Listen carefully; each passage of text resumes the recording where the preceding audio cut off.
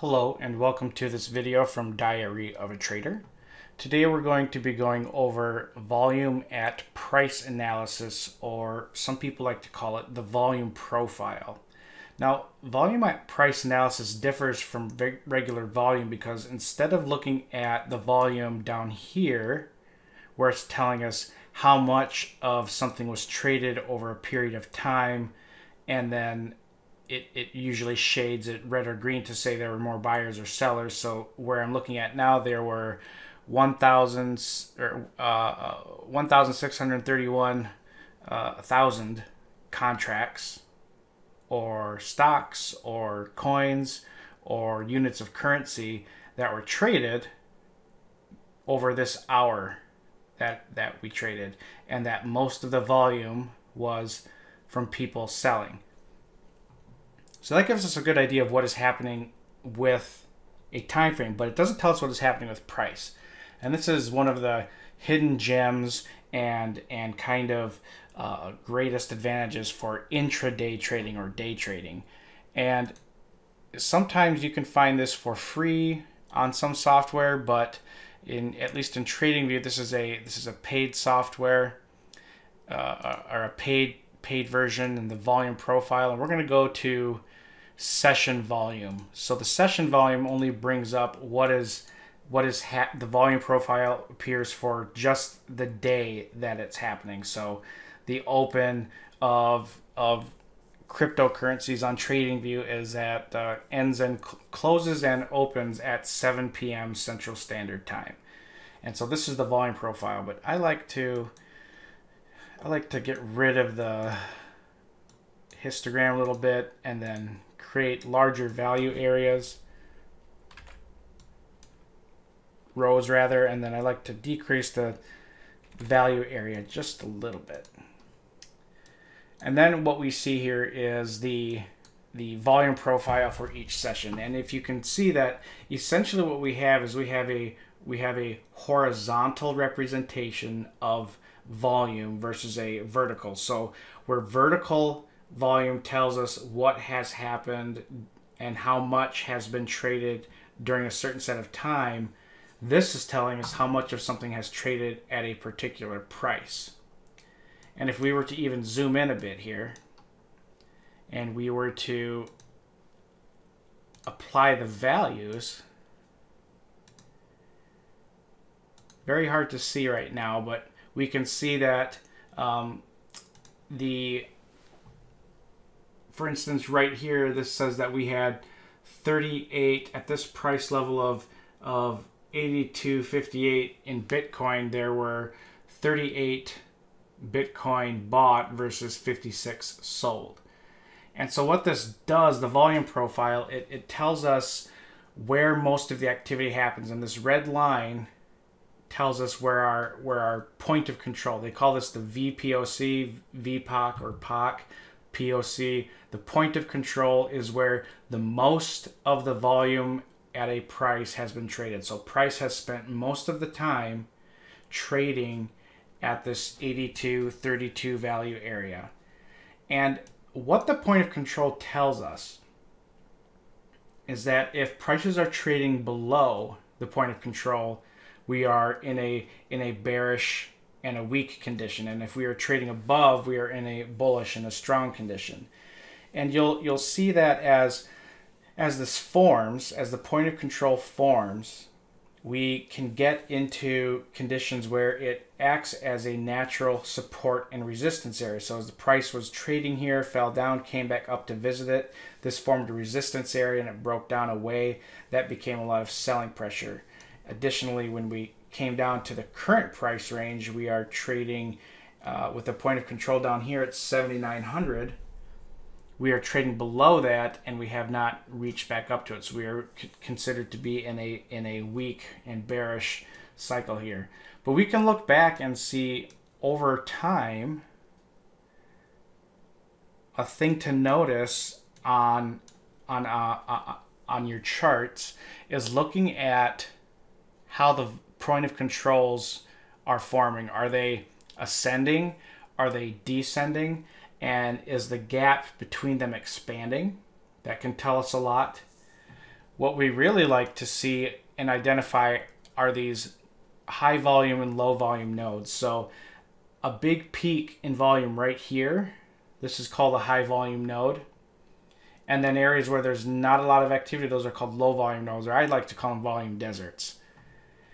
And so the behavior of these zones is that when price approaches a low volume area, it can it, a priced area that has not had a lot of volume, it moves through it really fast. And you may not be able to see this so much on a on a on this type of chart volume, but we could look at it a different way. So this is great for intraday trading and looking at how the price action has been over the last few days to trade. But sometimes we need a broader view, so we can do a fixed range. And for a fixed range, let's say we want to, well, let's go to a daily chart. And then let's find the beginning of the month. So let's look for, here we are. We'll start, we'll start on May 1st. And we'll do a fixed range. So on May 1st, and that'll go all the way to where we are now. All right, now here's our volume profile for the current month of May in 2018. I'm going to do the same thing where I like to get a few more bars, lower that volume area, and get rid of the shaded background because this is all I really need. So for the entire month of May, this is what we've got so far in the price action. We see that the point of control is down here. It is at the 8300 value area and that we are trading below that line.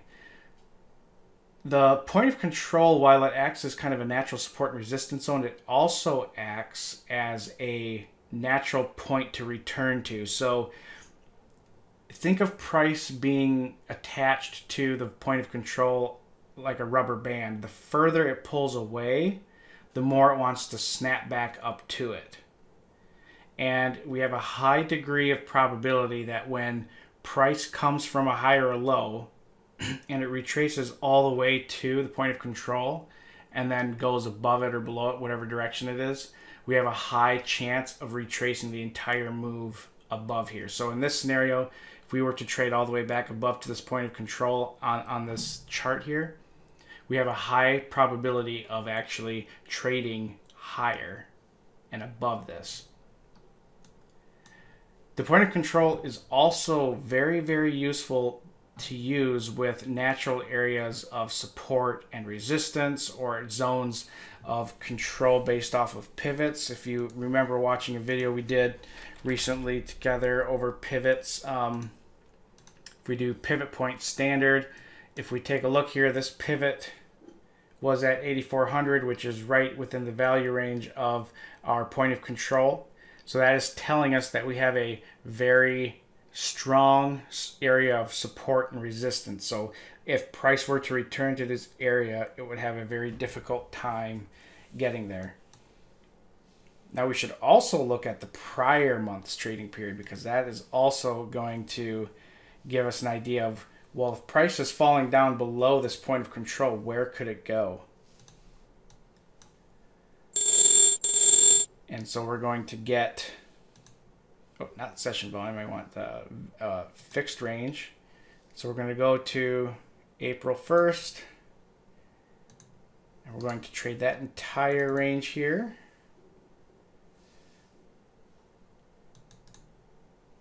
And do the same thing we did for the others.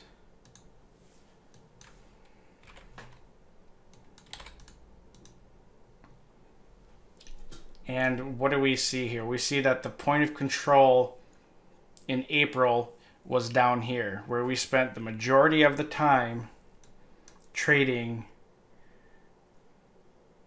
down at the 6800 value area. Now, what is interesting to take a look at is so we have on a month we're basically looking at a monthly volume profile and we see that price traded pretty rapidly above through this area. You see where we have this lot of volume here acting as a support zone as we moved up it was easier to move up because there was not a lot of volume traded in here. And then we start to form another kind of base. We saw a high volume node form, and that was very easy to trade through it. And so the past volume profiles can tell us a lot. And if we really want to get a broad view, this is kind of a more dynamic style of view, we can we can get to a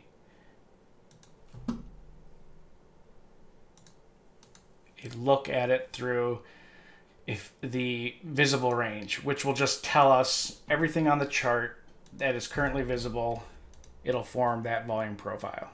Sometimes this is a little easier to see kind of a, a larger picture view. Um, we'll go to 50 row, actually probably on this one 100 rows. Same volume area.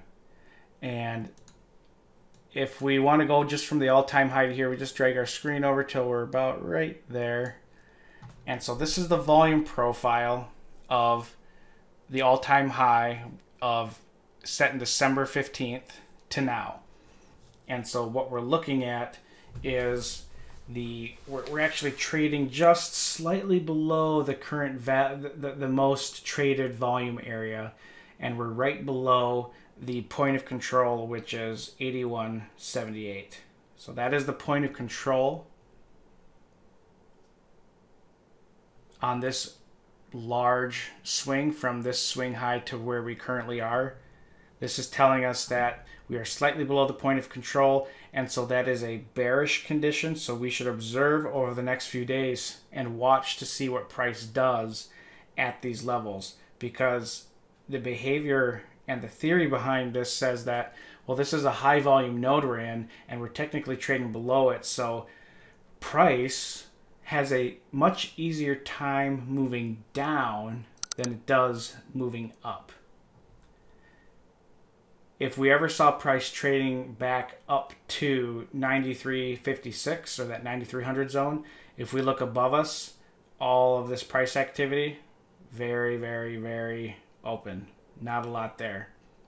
If we even want to scroll out and go all the way to, let's go to 20, beginning of 2017.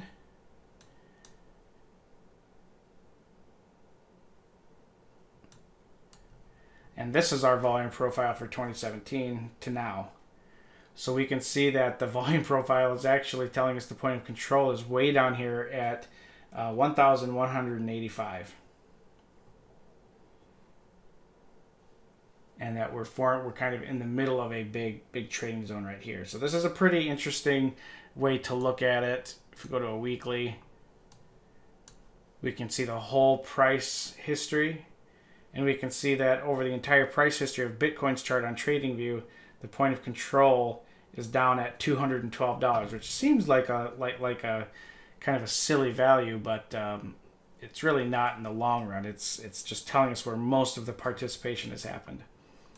And again, if we were to go from a recent swing low to that all-time swing high, and we look at where we're at, we're still sitting right below that, that volume point of control zone of 8100 or 8200, 8100. And that is what price is trading at currently. And if we see below us that the volume profile starts to decline the lower we go. So it is going to be much easier for price to move lower than it is to move higher. All right. That was just a little little intro and look at volume profile and how it can be used in your trading. I hope you found this video very informative and useful and look forward to talking with you in our next videos. Bye-bye.